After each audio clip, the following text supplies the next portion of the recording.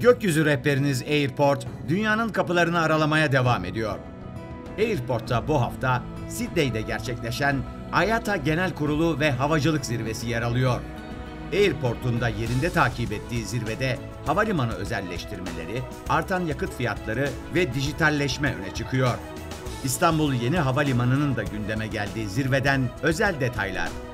Uçuş rotasında eşsiz plajları, yeşillikler içinde koyları, gece hayatı ve muhteşem gün batımıyla dünya jet setinin tatil noktası İspanya'nın Özgürlükler Adası Ibiza var.